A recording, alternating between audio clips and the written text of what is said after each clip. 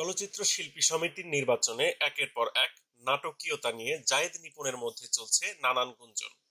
অবশেষে কে জিতবে এ লড়াইয়ে তা ঠিক করবে হাইকোর্ট। এদিকে জায়েদ খানের প্রার্থিতা বাতিলের সিদ্ধান্ত স্থগিত করে হাইকোর্ট যে আদেশ দিয়েছেন তার বিরুদ্ধে আপিল করেছে চিত্রনায়িকা নিপুণ। মঙ্গলবার সকালে এ আপিল দায়ের করে নিপুণের আইনজীবী ব্যারিস্টার মুস্তাফিজুর রহমান খান। এর আগে সোমবার দুপুরে জায়েদ খানের প্রার্থিতা বাতিল করে চলচ্চিত্র শিল্পী সমিতি নির্বাচনের আপিল বোর্ডের দেওয়া সিদ্ধান্ত স্থগিত করেন হাইকোর্ট। একই সঙ্গে প্রার্থিতা বাতিলের সিদ্ধান্ত কেন অবৈধ হবে না তা জানতে চেয়ে রুল জারি করেন আদালত। অন্যদিকে এই আদেশের বিরুদ্ধে আপিল বিভাগে আবেদন করতে যাচ্ছেন নিপন। শুরু থেকেই শিল্পী সমিতির নির্বাচন সাধারণ নির্বাচনের ন্যায় উত্তাপ ছড়িয়ে আসছে। মাত্র কয়েকশো সদস্যের নির্বাচনে একের পর এক নাটকীয়তা নিয়ে মিশ্র প্রতিক্রিয়া জানিয়েছেন নেটিজেনরা। এই ঘটনায় বাংলাদেশ চলচ্চিত্র শিল্পী সমিতির এবারের নির্বাচন নিয়ে অনেক পানি ঘোলা হয়েছে এবং এখনও হচ্ছে। এ নিয়ে সামাজিক যোগাযোগ মাধ্যম থেকে শুরু করে দেশ জুড়ে আলোচনা সমালোচনা হয়েছে এবং হচ্ছে। প্রশ্ন হচ্ছে, শিল্পী সমিতির নির্বাচন নিয়ে এত আলোচনা সমালোচনা ও বিতর্ক সৃষ্টি হবে কেন?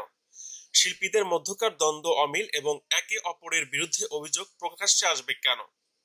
এসব প্রশ্ন এখন চলচ্চিত্র সংশ্লিষ্ট সচেতন মানুষের মধ্যে দেখা দিয়েছে। অন্যদিকে, এফডিসিতে ইলিয়াস কাঞ্চন নিপুণ প্যানেলের নির্বাচিতরা শপথ গ্রহণ করেন। মিশা সৌদাগর শপথ পাঠ করালেও তার প্যানেল থেকে নির্বাচিত কেউ অনুষ্ঠানে যোগ দেননি। ফলে ইলিয়াস কাঞ্চন নিপুণের প্যানেলের নির্বাচিতদেরই কেবল শপথ পাঠ করানো হয়। শুরুতে ইলিয়াস কাঞ্চনকে শপথ পাঠ করান মিশা সৌদাগর পরে ইলিয়াস কাঞ্চন বাকিদের শপথ পাঠ করান। শপথ অনুষ্ঠানে মিশা সৌদাগর ও জায়েদ প্যানেলের নির্বাচিত কেউ যাবেন না, এটা অনেকটা অনুমতি ছিল। তবে শপথ অনুষ্ঠানে আমন্ত্রণ জানানো নিয়েও কথা উঠেছে। এদিকে জায়েদ খানের প্রার্থিতা বাতিল করে জাতীয় চলচ্চিত্র শিল্পী সমিতির নির্বাচনের আপিল বোর্ডের দেওয়া সিদ্ধান্তকে স্থগিত করা, হাইকোর্টের আদেশকে স্থগিত করেছেন চেম্বার জজ আদালত আর আপিল বিভাগের পূর্ণাঙ্গ বেঞ্চে শুনানি তেরোই ফেব্রুয়ারি।